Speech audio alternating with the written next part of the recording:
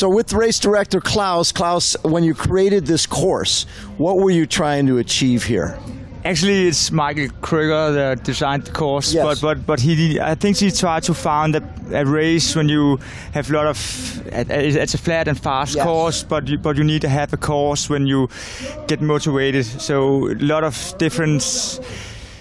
Yeah, Hills, Hill- exactly, little hills, little exact- wind. Exactly. Today you had a little rain as well. Yeah, exactly. It's the Denmark. Sometimes it rain, but not the whole day. So, yeah, it was an amazing start in the morning with a lot of sun and a little bit rain. It's okay on the run, so a lot of people go out to Yeah. see the race. So it was perfect. And Dirk Bockel, who's going to be turning 38 soon, and Dirk's had a tough, tough last couple years. Uh, he ends up winning this race, and I think this is a big comeback race for him. Exactly. I was so happy to see Dirk come back after one and a half year with a lot of problems. So it, I was so happy to see him back, and yeah, I love I love love this guy. He's an amazing guy, good for the sport and good for the people. So yeah, we are so happy to have Dirk for the race. So. What's cool about it, there you are with Dirk, congratulating him. And what's cool about today is you had a 38 year old guy who was about to turn 38, and at the same time, you have a 21 year old Thomas Rangaf who's who's, uh, fro- who's Danish. Yeah, he's a great athlete here. It's amazing job the guy from SDU uh,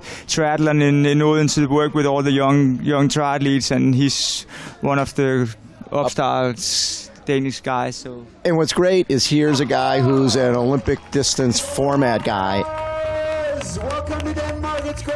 Dirk, you nailed it. Yeah, well, not sure if I nailed it. It wasn't perfect, but it's a typical Viking weather here. Danish people are awesome. So many spectators. They cheer for me as if I'm one of their own. And, you know, I love Denmark. I love the people. And to, to show that appreciation with a win, I think it's perfect. So, You, you maximum. You said you will go maximum.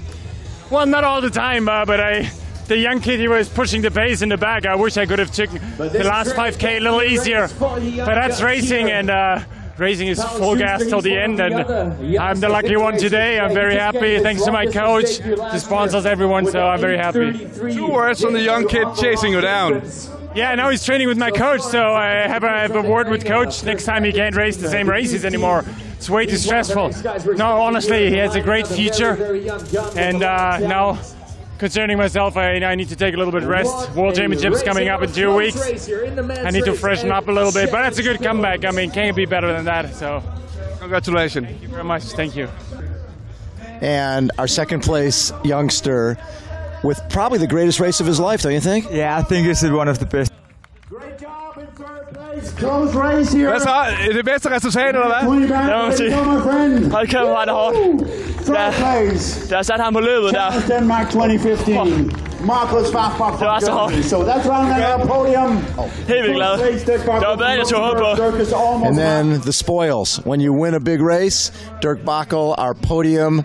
And there's there's nothing better than for someone like yourself seeing people get through the course, and you know you, you've seen a lot of races have this, but now this is your race Yeah. with your three people on the on the victory stand. What were your thoughts? It, it was so it was so crazy to see that you have worked a lot for this race with all the team or uh, with the whole team and and see the happy faces on the podium and we was happy the whole team so it's it's a fantastic day. Well, and, and the one thing as a race director, you always want it to be a fair race, and you always want the best person to win. Sometimes, though, you might have a, a little favorite in the game because uh, your girlfriend, Michelle Vesterby, leading coming into the run, and but she had the honey badger right behind her, Mary Beth Ellis, and that's a lot of pressure Exactly. because Michelle's strength has not been the run, but today she ran like I've never seen her run before. No, I, I had never seen Michelle run so fast before, and, and I haven't seen her run today because I have a lot of work. So normally I'm always on the side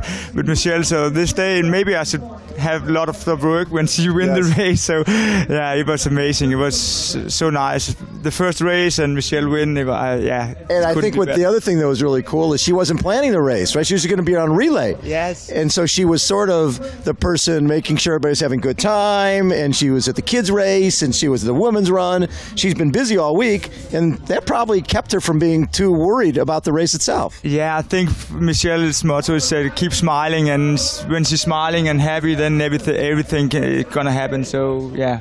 And she's also one of those people who seems to do better long the longer the race is. She's got Ironman Frankfurt coming up. This bodes well for that. Yeah, I think she, she looks strong now, and then when she's so fast on the half distance now, uh, it's going to be fast race in, in Frankfurt. I think she will, yeah, she need the corner spot there. So Come on, Mia.